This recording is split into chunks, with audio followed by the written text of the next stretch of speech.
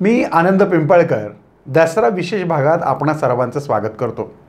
आज मुहूर्त आहे उत्तम मुहूर्त तुमच्या सर्व दुःखांवरनं मुक्त होण्याचा आणि विजयादशमी म्हणजे विजय प्राप्त करण्याचा. अर्थातच आनंद पिंपळकर म्हटलं की येतं समीकरण ते उपाय वेगवेगळे की जे सोपे आहेत आणि जे तुम्हाला संकटातून बाहेर काढतील. अर्थातच आज दसऱ्याच्या निमित्तानं आज आपल्याला मी काही उपाय सांगणार आहे. सगळ्यात महत्त्वाचं म्हणजे आपल्या घरामध्ये जर मातीची पणती असेल तर त्या मातीच्या पणतीमध्ये गोडे तेल ओतायचे आणि चार बाजूला चार वाती त्याच्यामध्ये लावायच्यात. अर्थात कापसाच्या ह्या वाती खोबरेल तेलात भिजवून घ्यायच्यात. खोबरेल तेलात भिजवलेल्या या चार वाती गोडे तेलात त्या पणतीमध्ये टाकून चार दिशांना त्याची टोकं करायची आहेत आणि आपल्या घरामध्ये आपल्या देवापुढे त्या प्रज्वलित करायच्या. त्या प्रज्वलित केल्यानंतर आपल्या कुलदेवीचा आणि आपल्या कुलदेवतेचं स्मरण करायचं आणि हात जोडून आपल्या सर्व संकटातून आपण मुक्त होण्यासाठी प्रार्थना करायची आहे. दिवा मालवल्यानंतर म्हणजे अर्थातच रात्रभर तो जळून द्यायचा आहे आणि दिवा मालवल्यानंतर दुसऱ्या दिवशी ही जी पणती आहे ही कुठेही पाण्यामध्ये आपण योग्य ठिकाणी सोडून द्या किंवा पायदळी येणार नाही अशा ठिकाणी गार्डनमध्ये मातीमध्ये टाकली तरी चालण्यासारखी आहे.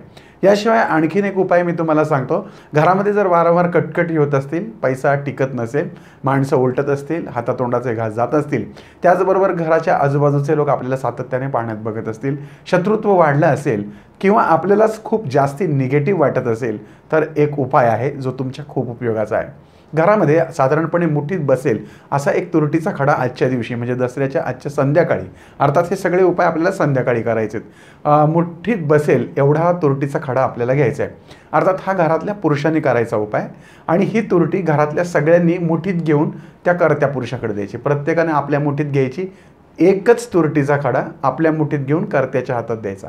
दुसऱ्याने उचलायचा परत तोच त्याच्या हातात द्यायचा. अशा पद्धतीने तो तुरटीचा खडा कर्त्यानं शेवटी घ्यायचा आणि घराच्या छतावरती जायचं. आता तुम्ही जर का फ्लॅट सिस्टीममध्ये जात असाल तर टेरेसवर जायचं. जर तुम्ही तुमचं बैठघर असेल तर तिथेच तुम्ही बाहेर उभा राहायचे. आणि डोक्याभोवती अशा पद्धतीने तीन वेळा फिरून मागच्या दिशेला छतावरती फेकून द्यायचे. लक्षात घ्या. डोक्याभोवती स्वतःच्या तीन वेळा फिरून मागच्या दिशेला फेकून द्यायचे. अर्थात मागं फेकत असताना डोळा बंद करायचा डोळे बंद करायचे आणि पडल्याचा आवाज आल्यानंतर डोळे उघडून आपल्या घरी हातपाय धुवून मग आपल्या घरामध्ये आपल्या रोजच्या कामाला लागायचे. याशिवाय रात्री करायचा एक साधा सोपा तुम्हाला उपाय सांगतो. दोन बादली पाणी घ्यायचे. एक बादली घराच्या उत्तर भिंतीला ठेवायची त्याच्यामध्ये एक लवंग टाकायची आहे. दुसरी बादली पाण्याने भरायची जी बाथरूममध्ये ठेवायची त्याच्यामध्ये एक इलायची टाकायची आहे.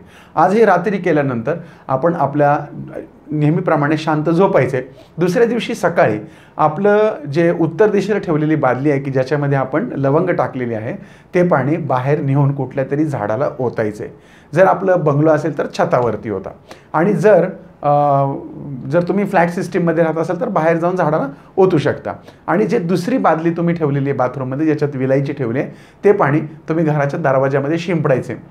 दोन ग्लास पाणी तुम्ही तुमच्या मुख्य दरवाजावरती शिंपडलं तरी चालेल. आणि उरलेलं पाणी हे बेसिनमध्ये संडासमध्ये नाही होतायचे बेसिनमध्ये ओतून टाकायचे.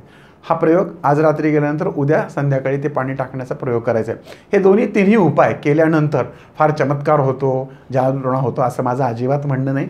पूर्वापार जे पूर्वजांनी सांगितलेले उपाय आहेत ते मी आपल्याला सांगितलेत. ह्या उपायांनी कोणताही फरक पडतो फार काही भारी चमत्कार होतात असा माझा कोणताही दावा नाही. करून पहा तुम्हाला जो अनुभव येईल तो आम्हाला जरूर कळवा. तो आमच्या दृष्टीने तो प्रॅक्टिसचा मुद्दा असेल. मी आनंद पिंपळकर दसऱ्याच्या पुन्हा एकदा शुभेच्छा देऊन दसऱ्यासाठी करायचे हे तीन उपाय आपल्याकरता विशेष सांगितले आहेत. नमस्कार.